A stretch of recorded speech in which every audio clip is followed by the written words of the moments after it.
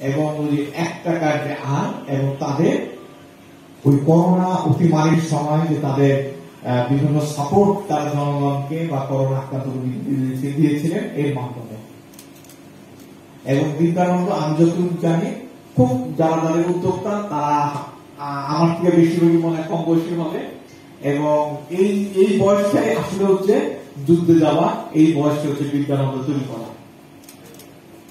আর তোমাদের যে বয়স, তোমরা হচ্ছে এদের থেকে উজ্জীবিত হওয়া যেমন আমরা অনেক অনুষ্ঠানে যাই কীরকম তোমরা যে সুন্দরভাবে দাও কিন্তু এক তালে দিচ্ছ, এটাই কিন্তু প্রমাণ যে তোমরা একটা নিয়মের মধ্যে তোমরা আরও বেশি, আমাদের থেকেও বড় হতে পারবে তোমাদের কর্মস্ক্রিয়া তোমাদের হাততালি শুনে বলবে আর বিদ্যালয় কাজ করে, মূলত হচ্ছে শিক্ষা এবং এই কম বয়সী শিশু কিশোরদের নিয়ে।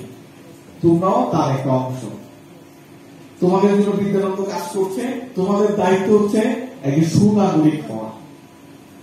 সুনাগরিক শুধু লেখাপড়া করলেই হবে না, তাকে যেন সমাজ উন্নতিতে থাকতে হবে, একজন মুরব্বীকে সম্মান করতে হবে। ছেলেদের প্রতি বলছি যে তোমরা তোমাদের অন্য নারীকে সম্মান করতে হবে, খেলাধুলা করতে হবে, সংস্কৃতি চর্চা হবে ধর্ম চর্চা করতে হবে, সর্বোপরি দেশকে ভালোবাসতে হবে।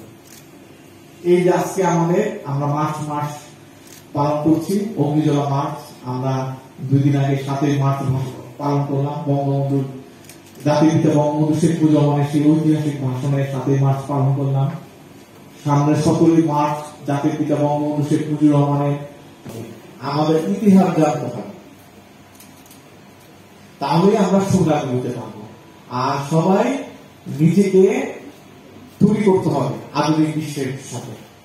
আধুনিক বিশ্বের একটা হতে হবে। লেখাপড়া করতে হবে শরীর চর্চা করতে হবে সংস্কৃতি চর্চা করতে হবে। সেই সাথে তোমরা যেরকম ভাবে বিদ্যানন্দ সহযোগিতা পাচ্ছ, তোমরা যখন সমাজে প্রতিষ্ঠিত হবা, তখন তোমরাও অন্যকে সহযোগিতা করবা।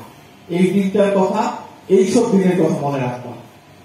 আর আমাদের যে আমরা যে সাংস্কৃতিক যে ঐতিহ্যের মধ্যে যে লালিত সেটা হচ্ছে আমরা একা কখনো বড় হতে চাই না, আমরা সবাইকে নিয়ে এগোতে চাই।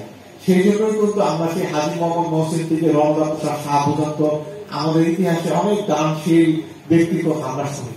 তারা সবাইকে নিয়ে এগোতে চেয়েছে, তাদের ধন সম্পদ তারা বিলিয়ে দিয়েছে। বিদ্যানন্দ এইরকমই একটা প্রয়াস নিয়েছে। আশা করি বিদ্যানন্দের যে প্রয়াসটা থাকবে, সেটা আমরা সবাই যুক্ত হব। আর তোমরা যারা এটার সাথে অলরেডি